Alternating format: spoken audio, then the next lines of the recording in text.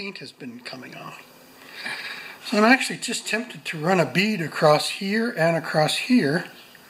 I don't like to say across. Across here and across here. And uh, that might just solidify. Boy, that, that's almost ready to break, you know. So I'm just going to get the paint off this and we'll go to plan B. Thank you. Alright guys, this is my plan. I'll go behind and show you. This is a piece of 332nd welding rod. My plan is to weld that onto there. You can see the weakness there and there, right? You can, you can even, I'm sure you can. Yes, you can. So I'm going to just tack it here and then bend it even better so that it's touching all the way around and then weld down either side of that double with my flux core. Yes, I have to weld with my glasses on. So this this is this weld is uglier than a mud fence. I want you to know that, right? So there it is. There's the hole for the cable right there. I just added some depth on top and I added some depth on the bottom. Here is a uh, one that's more sturdy. It's the same idea.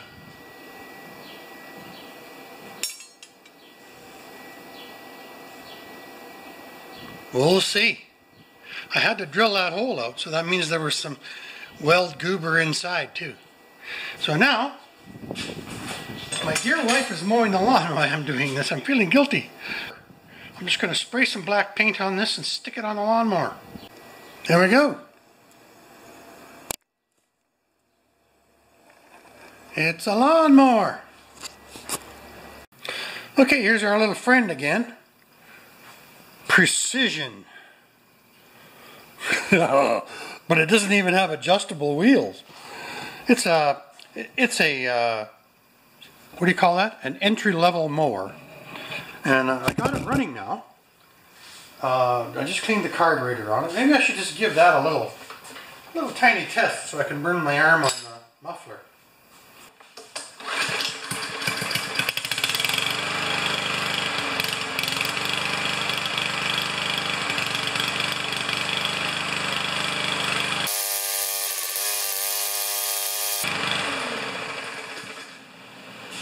Good enough for now.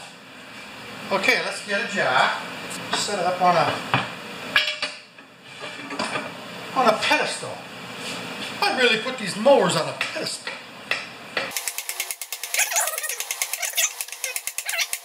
First we gotta get that bolt off of there. What size is that?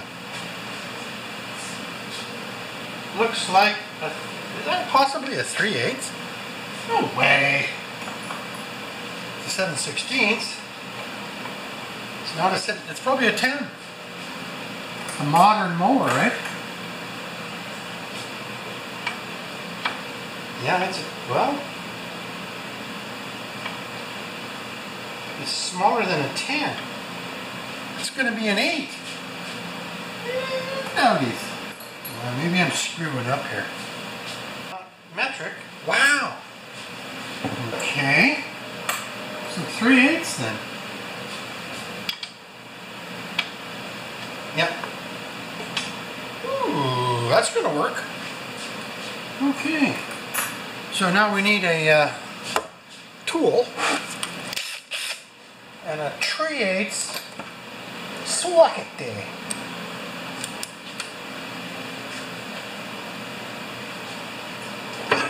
Undo this bolt.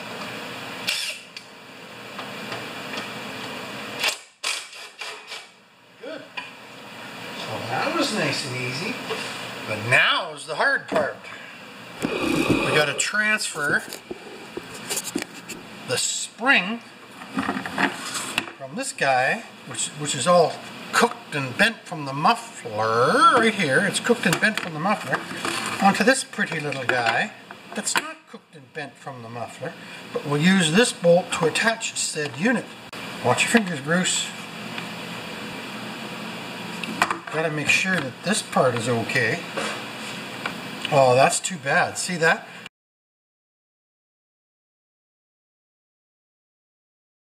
Right there it's broken.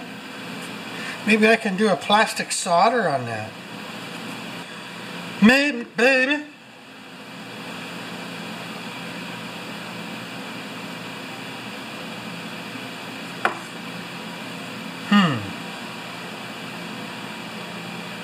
I know my friend Wayne is into plastic soldering.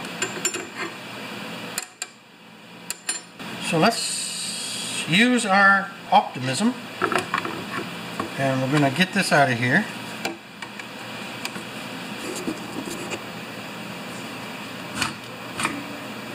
Good. That's nice. And take the spring out too. I didn't realize when I kept this other one that these uh, arms would have to be soldered or repaired or something. That's alright, we're going to do it. I'm not going to solder these guys in there. Or heat this up and bend it back. One of two.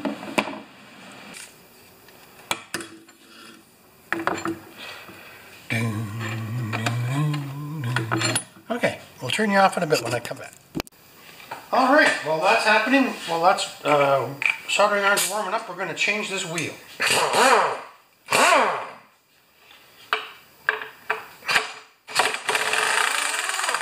Good. Did the old nuts stay in there, or is it just threaded? I think it's just threaded. Well, that's crazy. Come on, Bruce. Let's get a little bit of oil. Might as well oil the wheel while we're at it, huh? So for a low-end mower, look at this. So it's got actual threads, I think, in each hole. One, two, three, four. And we're using that third hole. And one, two, yeah, we're using the third hole. Weird.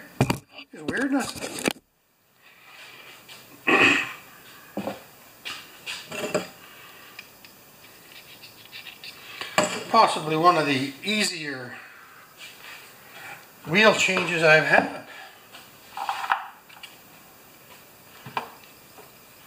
Forward.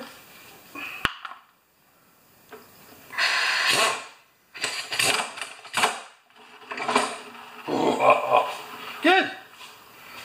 The sound the same as this one? Yep. Well, that's really cool. Let's just oil this one while we're at it. Now, this blade is awful. Uh, is my soldering iron hot enough to melt plastic yet?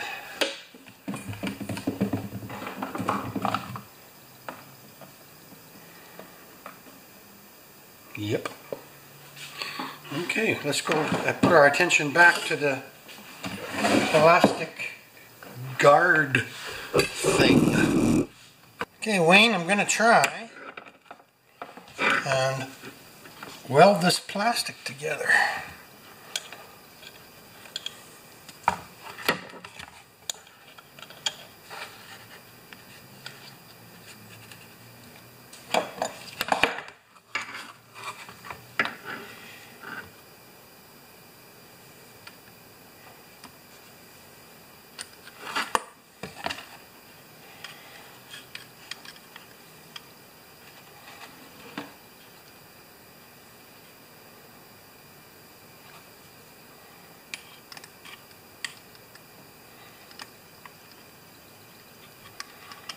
I might use tie wraps, you know. They make good, uh, a good quality tie wrap anyway. Not a crappy quality tie wrap. I don't care what color it is. Okay, where am I? These ones are really good quality tie wraps right here. No, not thick enough. So these are my welding rods, I guess. Where did that little piece go? Right there.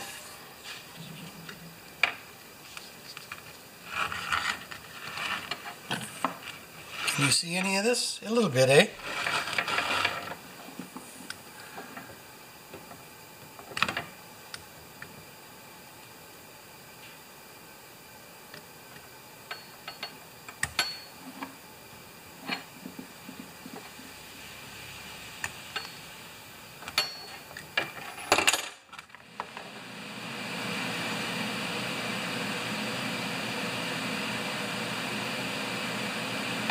Let's keep going. I don't know, I think it's going to break on me. I'm new at this. I've done it a couple of times on kids' toys.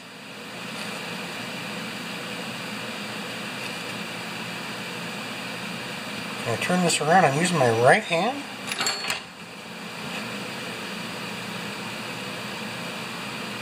I better make sure one thing. Yes, it goes on the outside, eh? Okay. Don't make it too wide, Bruce. Oh. Lost my plastic already.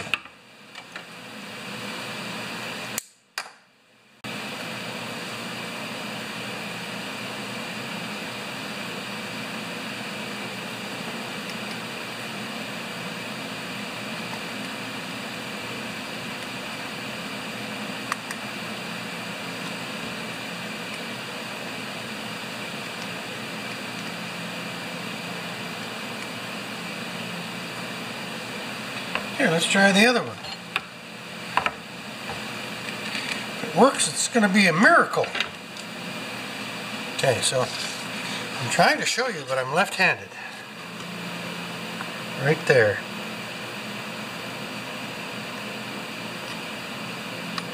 And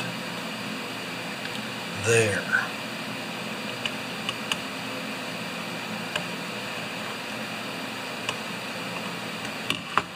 Gonna get some water just to bring the temperature down. It's not soapy water, but that's all right.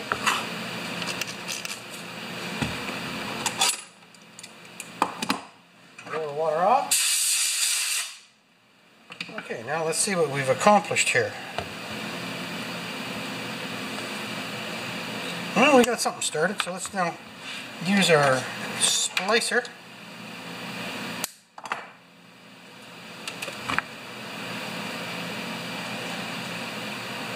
Goes on the inside, I think.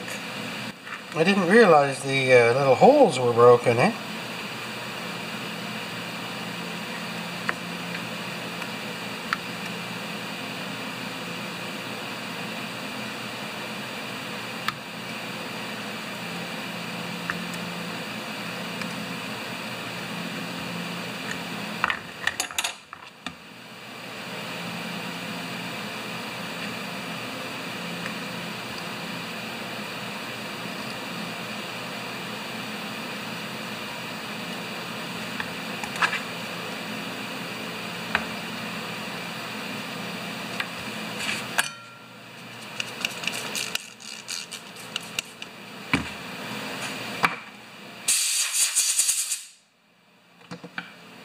Well, they're both flexible.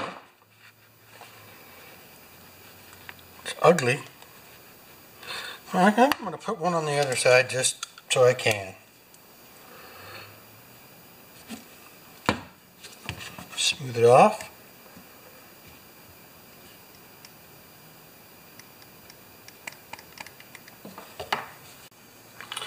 A little less hot on the fingers if you use a pair of pliers. Come on. Okay. Let's just wipe off our little soldering iron so we don't lose the tin. We'll leave that plugged in back over here. Now we get to see if we get to put the spring in. Boy.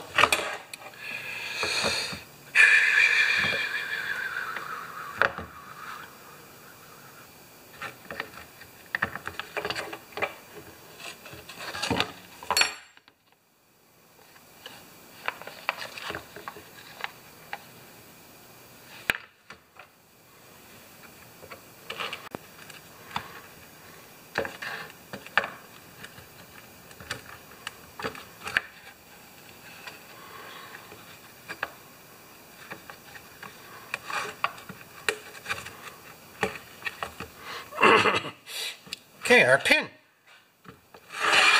Are you guys looking at this? Yeah, you're not doing too bad.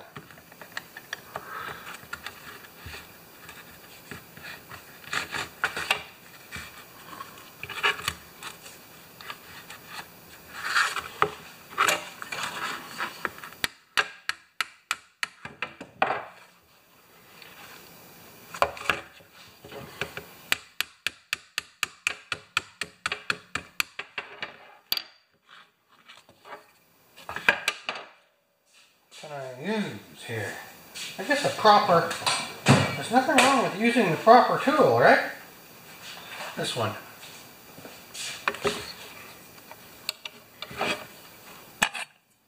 This little mower's getting a lot of, getting a lot of attention, eh? Is that going to hold? Really?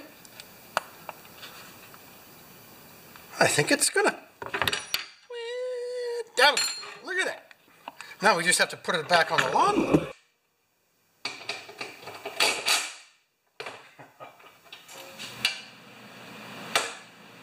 It's a miracle.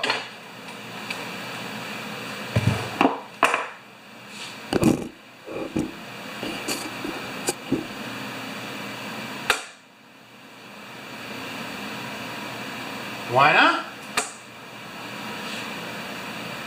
Okay, so now what's next? I guess sharpen that blade while we got this thing tilted, right? Unplug the spark plug. And is that a 9 16ths?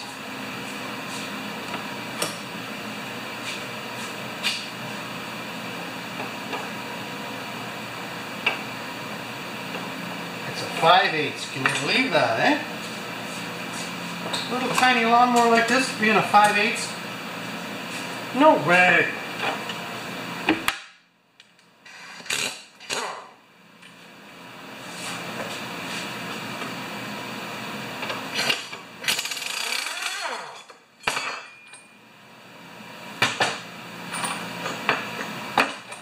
Holy crap. yeah, only just one side. I almost wonder if I if I have access to the uh, whoops, excuse me. I almost wonder if uh, I had access to the flywheel key, if I should have a little look at that. Eh? I don't know.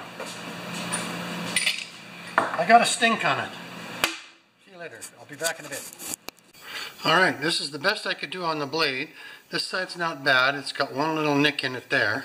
But this side was the side that had all of the marks. And I, what I did was I peened them back with my ball peen hammer and then sharpened the blade. And of course it's blunt, not super sharp. I'm just going to check the balance on it now. And uh, we'll be able to put it on. All right, so this is the 10 times trick. One, two, three, four, five, six, seven, eight, nine, ten. All right. Now we haven't had a look at the spark plug yet. Or torch. It'll be a torch because it's a Chinese mower. One, two, three, four, five, six, seven, eight, nine, ten, eleven. There we go. It's a torch. That's for you, Mick. Mick's Mowers from Britain. Just Google Mick's Mowers and you'll find him. He's a, he's a great guy, funny, funny, oh, very, very good lawnmower mechanic. Better than me. I just fake it. All right. We need to find a BPR 6ES and stick it in there. Or just clean this one and see how it goes.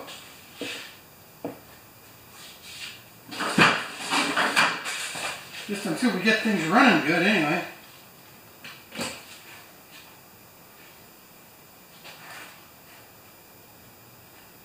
I gotta crawl up on a ladder to get the the torch or the BPR 6ES.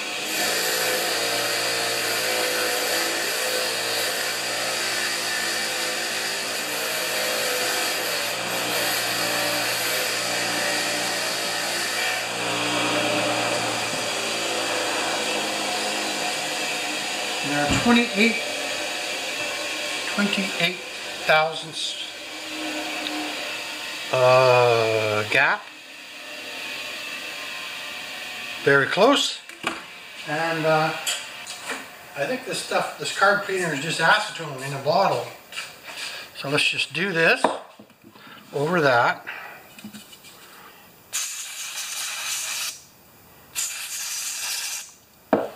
Get a scratcher.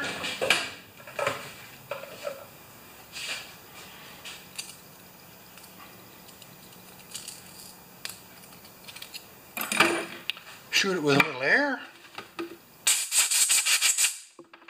Stick her back in. Don't tell Nick, I'm reusing a torch just for now. The whole lawnmower's not even worth $30 right now. Until it's running, right? Now, let's see. We got a new wheel. We got a new clapper. Are you, uh, you guys, you're not watching this part. I'm working with the vehicles in the garage. It's a little more crowded, eh? Okay.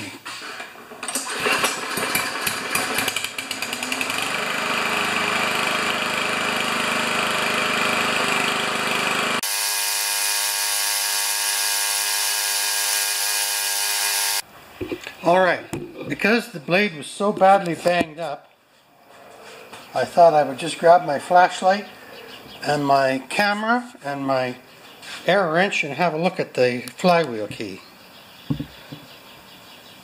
And it actually looks okay. Right there.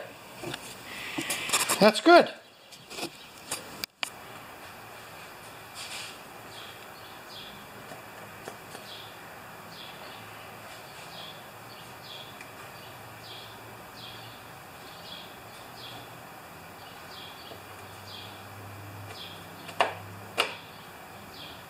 Yeah, it's perfect. Good? Okay, oil change.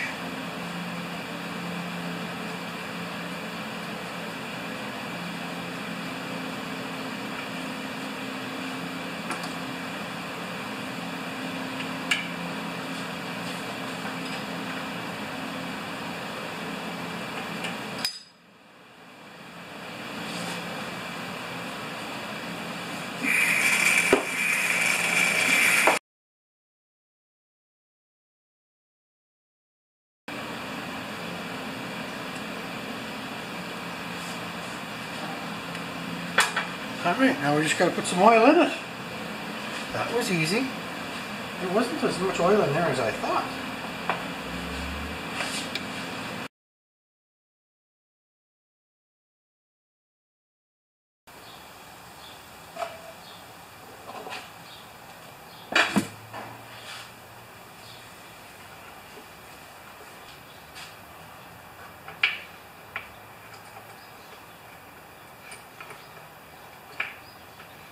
I haven't had a lot to do with these, eh? I don't know if you just dip it in or if you screw it all the way in. I have no idea.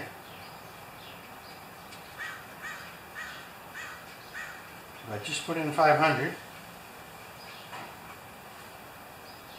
And it's, I would say it's full. One more crank.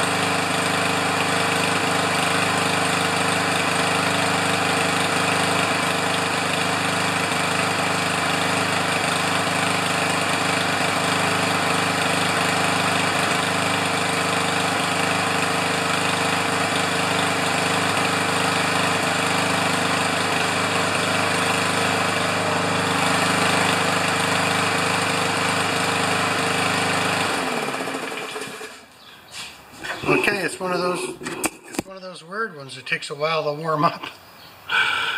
Anyway, I'm gonna wipe it down and say goodnight to it. Thanks for watching this one, guys. We're almost there. I'm just gonna clean it up and then we'll see where we're at.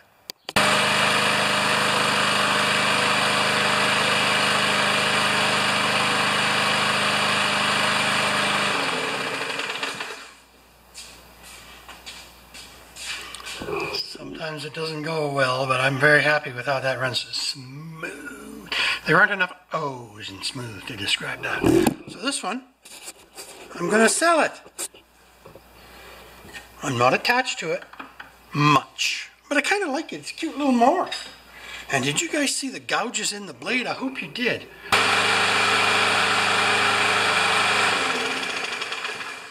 All right. So it has a bit of a vibration, so I'm just going to check. I know I'm crazy, but I'm taking, I'm starting to take a little more time, even though I'm swamped with engines right now.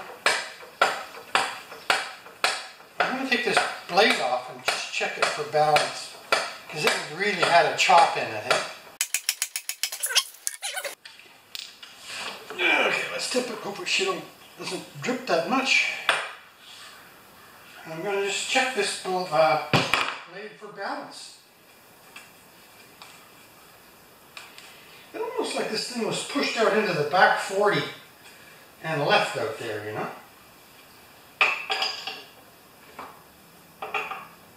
It's nine, it's a 5 eighths. What a huge blade for such a small engine. Now, my friends, the experts, is this an AYP or is this an MTD? I call it an MTD. But with the way these handlebars shove into the frame like that, some guys have been corrected and they say, no, it's an AYP. Oh yeah, this is the one where I took the ball peen hammer to it. I'll be right back. Okay, that's dead eye on there. So let's put it back on the mower. I just want to see if it, uh, it vibrates still.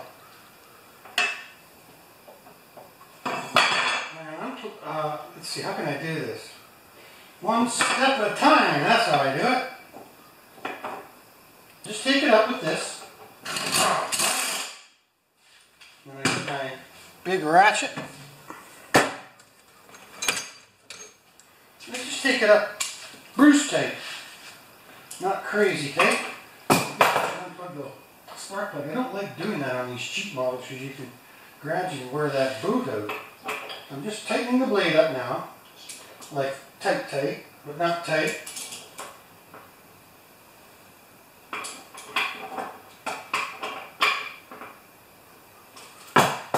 And I'm going to check for a, no, it's perfect.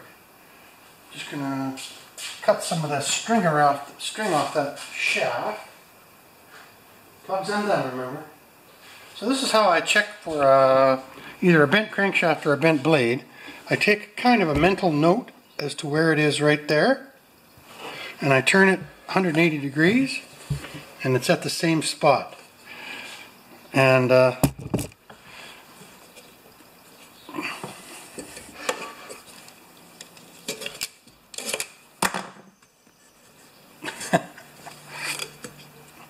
Somebody ran into some line of some kind.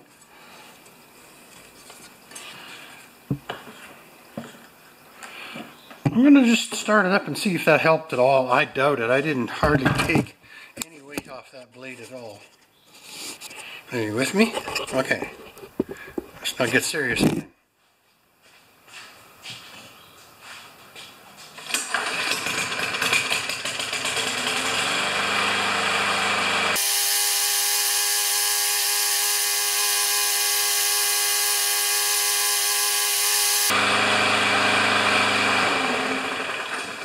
right, sale. Over and out. Thanks for watching.